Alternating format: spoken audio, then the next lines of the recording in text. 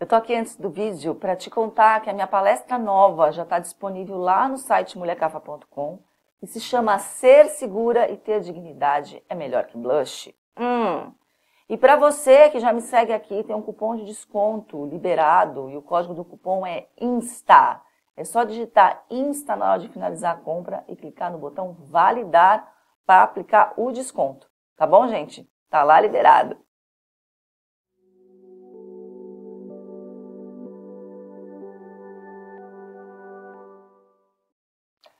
Fernanda, ele terminou comigo. E eu tô aqui numa dúvida cruel, porque eu fico pensando que eu não posso simplesmente perder isso. Eu tenho que ir atrás dele, eu tenho que tentar conversar com ele, eu tenho que tentar falar com a mãe dele, falar com o irmão dele, falar com os nossos amigos em comum. Fernanda, você acha que eu tô certa? Você acha que eu tenho que ir atrás dele mesmo para a gente conversar? Deixa eu te falar uma coisa. Pensa aqui comigo. Quem foi que terminou? Não foi ele? Então ele que tem que vir atrás de você. Mas, Fernanda, eu era muito chata, eu era ciumenta, eu era insegura. Não, você não era, você continua insegura. Tanto é que você está pensando se você deve ou não ir atrás de uma pessoa que te chutou. Fernanda, mas eu era ciumenta. Será mesmo que você era ciumenta?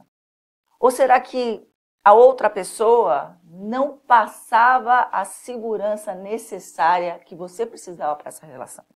Sim, porque isso já aconteceu comigo por duas vezes. Pessoas que, aparentemente, se me perguntassem, mas te fez alguma coisa? Você pegou alguma coisa, alguma mentira, alguma coisa errada? Não, não peguei nada, mas não sei. Eu fico numa, numa insegurança, eu fico com uma sensação estranha e eu interpreto isso como ciúmes, como neurose da minha parte. E aí, obviamente, eu vou questionar, eu vou cobrar, eu, porque eu estou sentindo alguma coisa errada. E a pessoa fala que eu tenho problema, a pessoa fala que eu tenho que procurar ajuda. Pequeno detalhe, eu não costumo ser assim. Eu estava sendo assim com aquela pessoa específica. E de fato, eu tinha, eu tinha razão, os meus sensos tinham razão. É que a gente está tão acostumada a não confiar na gente, porque a gente aprendeu desde criança que a gente não é lá muito assim de confiança.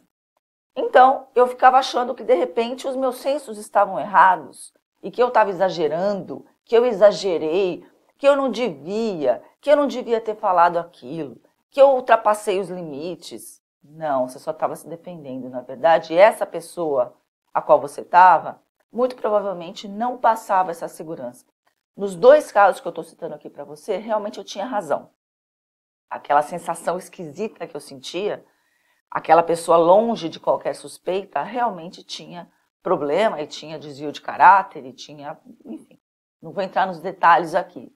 Mas o que eu quero te falar aqui, e é muito importante, é se ele, se foi ele, aquela criatura que terminou com você, não é você que tem que ir atrás.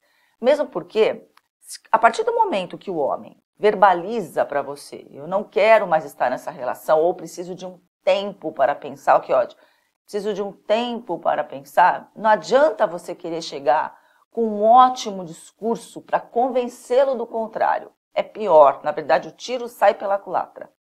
Quanto mais você fala, quanto mais você tenta convencê-lo do contrário, mais que você enfia na cabeça dele, que o melhor é terminar mesmo com você. Sabe por quê? Porque você não tem dignidade. Agora eu vou falar. Você vai tomar essa na cara. Você veio me assistir, você vai tomar essa na cara. Você não tem vergonha na sua cara.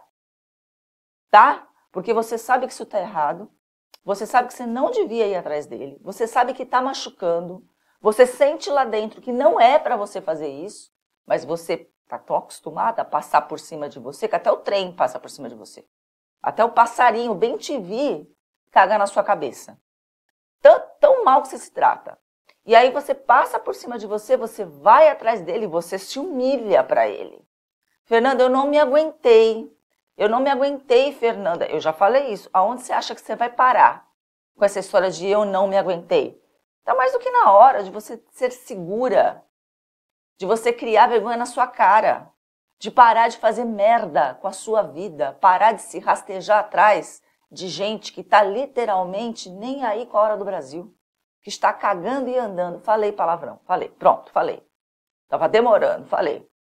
Que não está nem aí, que está mais preocupado com o próprio umbigo, que está mais preocupado em ir para bar, beber, com zelão, bolão, azeitona e reco-reco Tá mais do que na hora de você levantar essa cabeça, empinar esse nariz, empinar essa bunda, peito para frente e ir.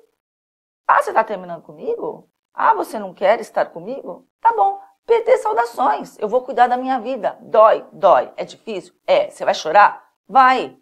Mas eu prefiro ficar com a minha dignidade intacta.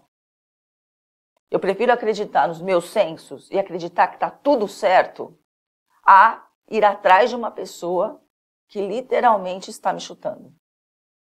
Ficou claro? Espero não receber mais nenhuma pergunta dessa, não tem WhatsApp. Fernanda, você acha que eu tenho que ir atrás dele para a gente conversar? Eu vou dar na sua cara. Tá? Um beijo.